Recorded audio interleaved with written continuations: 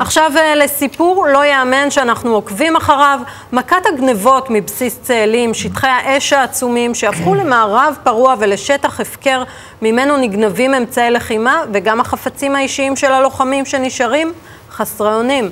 שלום עמית ברק. שלום וברכה.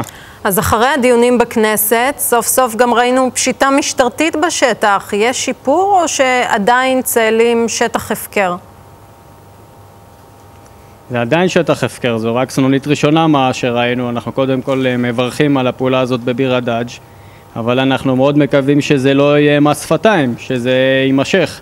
כולם יודעים שלא מספיק אה, פעולה אחת, וצריך פה משהו אה, ארוך טווח ולא נקודתי. העדויות ממשיכות להגיע אלינו בכל שבוע, ואנחנו רחוקים ממתן פתרון או ממיגור התופעה הזאת. ספר לנו, איזה עדויות מגיעות אליכם?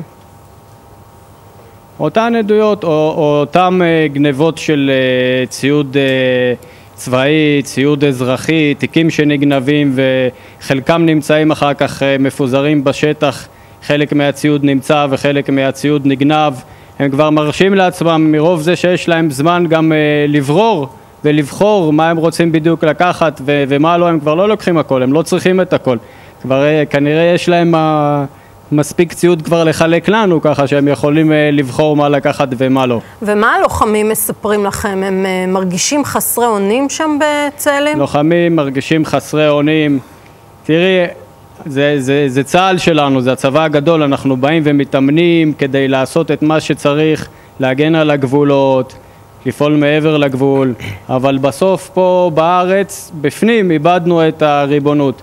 אז יש לנו את העורבה הכי חזקה, מאובטחת, שמורה, אבל גנבו לנו את הסוסים. ומה אתה מצפה שיקרה עכשיו? איזה מסר היית רוצה לומר מכאן לממשלה, למשטרה, שמה יעשו? כמו שאמרנו עד עכשיו אה, בכל המאבק הזה שאנחנו מנהלים, וכמו שאמרנו בדיון בוועדת חוץ וביטחון, יש את הכלים. אנחנו ראינו, הפשיטה הזאת זאת כלי. יש למשטרה יחידות מבצעיות עם אה, שוטרים מעולים, כך גם למג"ב, אני שירתי בקבע ביחידה כזאת במג"ב יחידת אלון, יש מודיעין לשב"כ, יש לצבא, הם רק צריכים אה, לקבל החלטה ולעשות את זה באופן אה, שיטתי ולא פעם אחת. אנחנו באמת לא יודעים אם זה היה רק פעם אחת או לא, אנחנו מאוד מקווים ש... שלא, אנחנו מאוד מקווים שזה יימשך עד שיביאו למיגור התופעה הזאת. אין דבר כזה שאי אפשר אה, למגר תופעה כזאת. אם אי אפשר אה, לשמור על הריבונות ועל החוק, בלב ליבה של המדינה, אז אפשר לשים את המפתחות. בהחלט. עמית ברק, תודה רבה לך על השיחה הזאת. תודה רבה, ערב טוב. שפטל, צאלים הפך להיות המערב הפרוע. אה, זה נכון. תראי, מה ששמענו כרגע על צאלים זה אותה הגברת, בלי שינוי יותר מדי אפילו של האדרת, שמה ששמענו קודם על זריקת אבנים.